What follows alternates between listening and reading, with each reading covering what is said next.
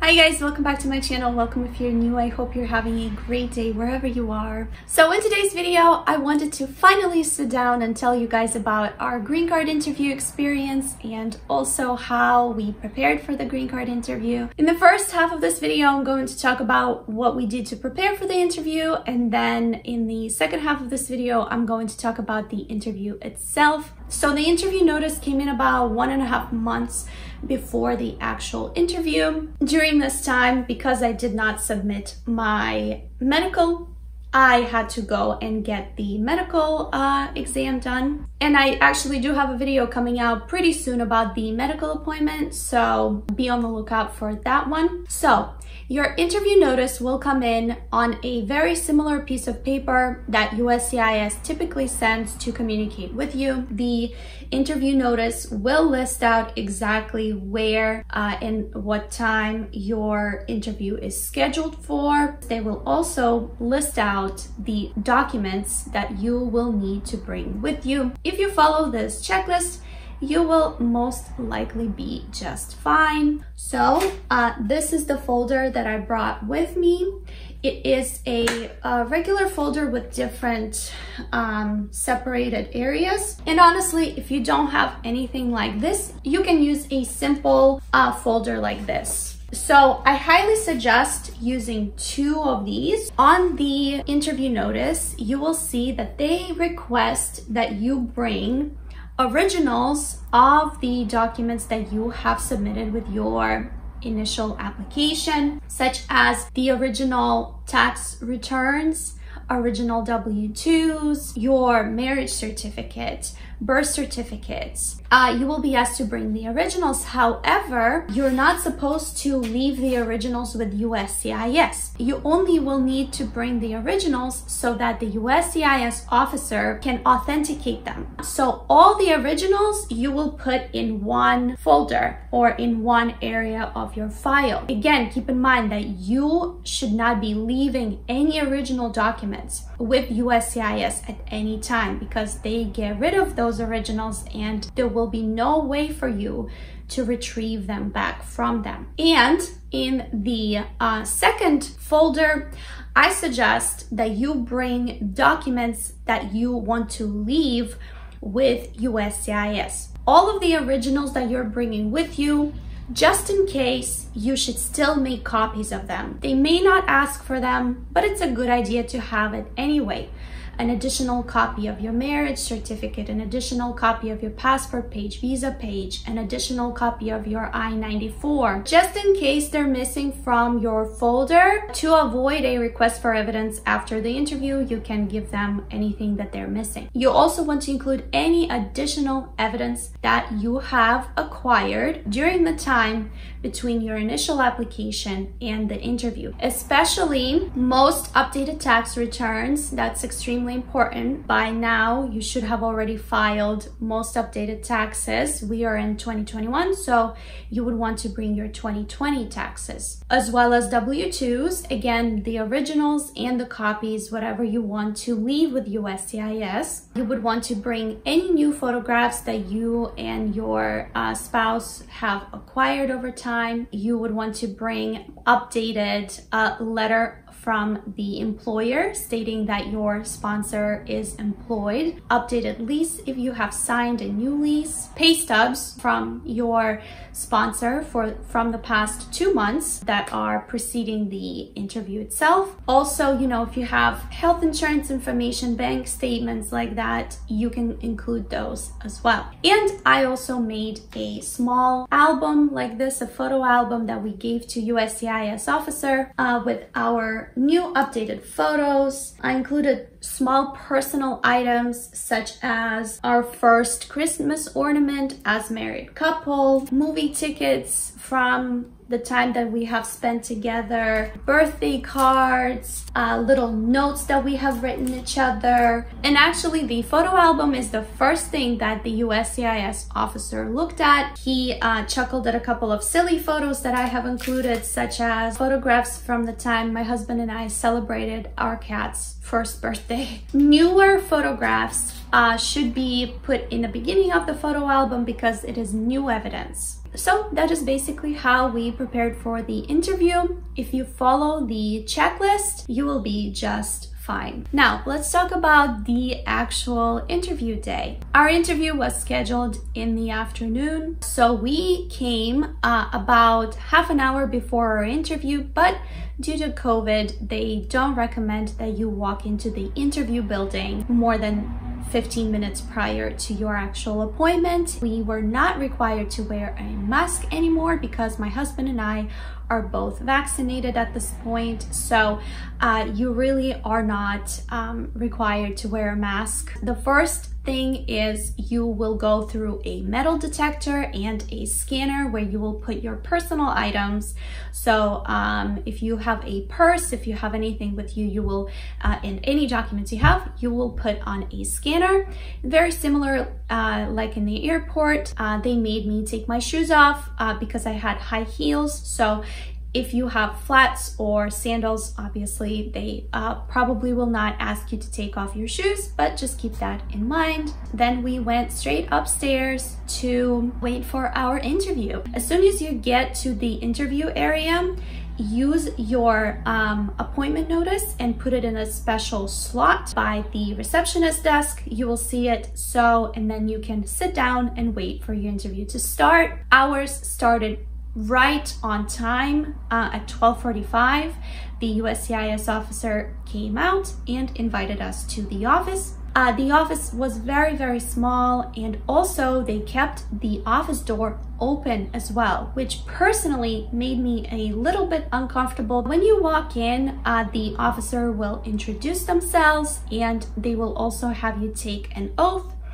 uh, to say that under penalty of perjury, everything that you are saying, all the information you're providing is correct and that you're not going to be lying about anything. We were invited to sit down and we kind of just started to have a casual conversation. It's not an interrogation, it's actually very conversational and the USCIS officer will ask you uh, very simple, very generic questions, you know, oh, what are your guys' names? They will also then ask you to provide any documents that you would like to give to them. One of the first things that they will do is they will take your your photo uh, as an immigrant and also they will check your fingerprints. One of the first things that the USCIS officer looked at, like I said, was the photo album that I have provided and little uh, additional evidence of our marriage. He then opened the medical exam envelope and carefully looked through that. He took out our file uh, and he started adding things to the back of it, any additional evidence that I have given him. We had very, very casual uh, discussion about, oh, where'd you guys go to college? And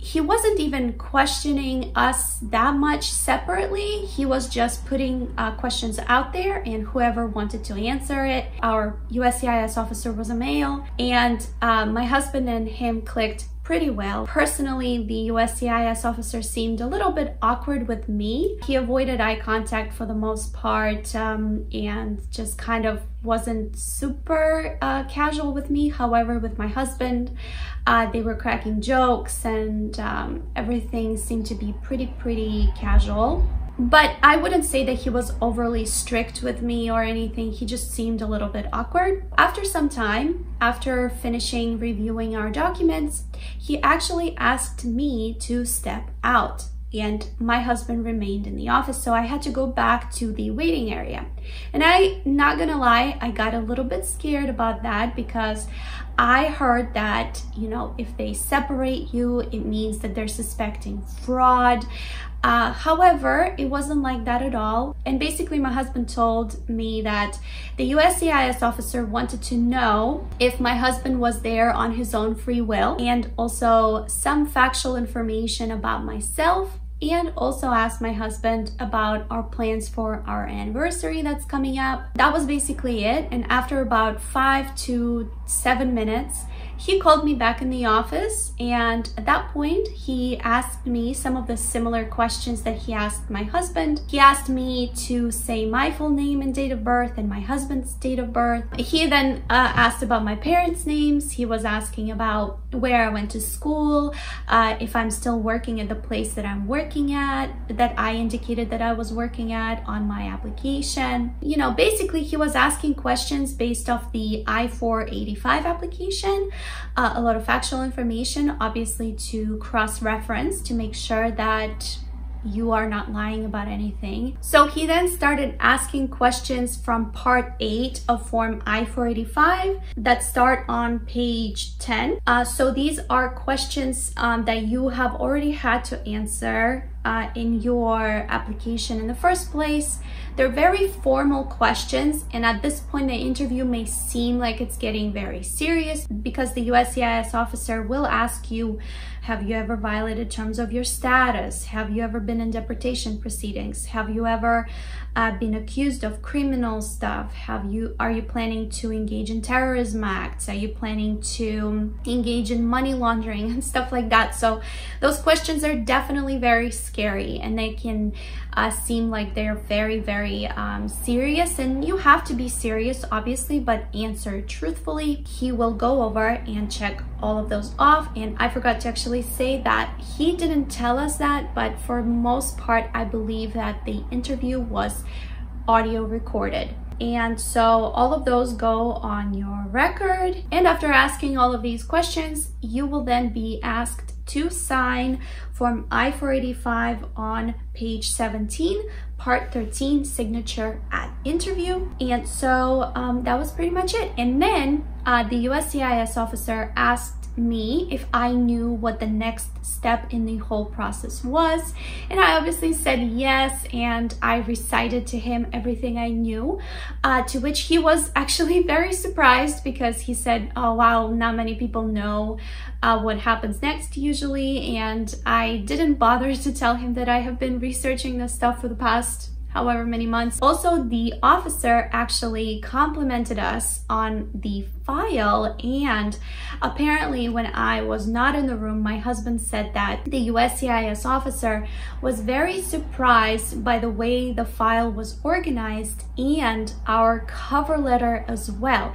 He said that uh, most applications that are not done with the help of a lawyer don't have a really good cover letter attached. And our cover letter was very very professionally done. So uh, that makes me very happy uh, knowing that the people that have watched my cover letter video and used it as uh, notes probably were just as well prepared as us, which makes me extremely happy. Not even for myself anymore, but for people who are or will be watching that video in the future. And also my file organization video as well. So if you are in the beginning of the entire process, definitely check out those videos. They didn't tell us exactly when we will find out about the decision. I personally felt like the interview went really, really well. Uh, don't try to over prepare and don't try to um, memorize answers that you and your spouse would uh, be asked because you never know. They may ask a lot of questions and they may not ask any questions at all. Oh, and the other thing I wanted to say is the guy actually didn't even look at the original documents at all. So I would say the entire interview lasted about 45 minutes. We were both very nervous in the beginning and you could tell, but the USCIS officer was very kind and uh, friendly. They, they didn't try to trip us up. But yeah, so the whole experience was not bad at all. I would really like to know about your guys' interview experience uh, what state was it in and how did it go. I hope that uh, you guys found this video useful. If you have any questions again, reach out to me on Instagram or Facebook. They're listed in the description of this video. Subscribe if you haven't already and I will see you in my next videos. Adios!